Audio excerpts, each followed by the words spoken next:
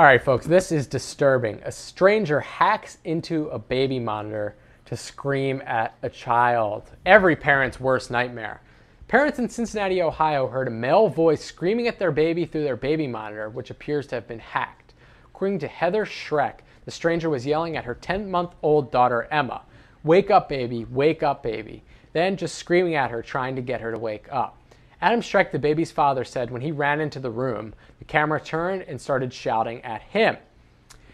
It is the latest IP camera manufactured by Foscam, which is also used as a baby monitor that's gone viral because of security breach.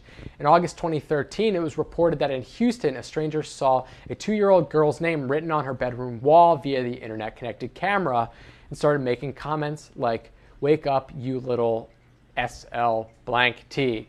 Can't say that on the radio.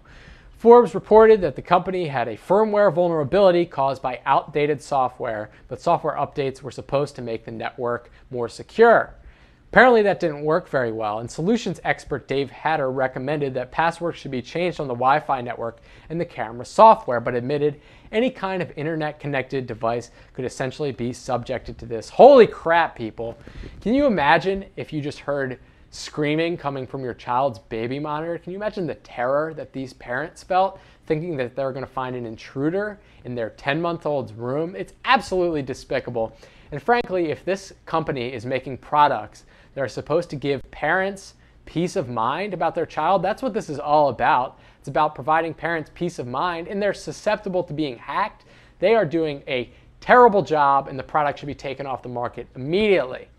Let us know what you think about the comments below, folks. And before you do that, take the three steps to join Fowler Nation. Step one, hit that subscribe button on youtube.com slash Fowler Show. Step two, go to facebook.com slash Richard Fowler Show. Hit that like button.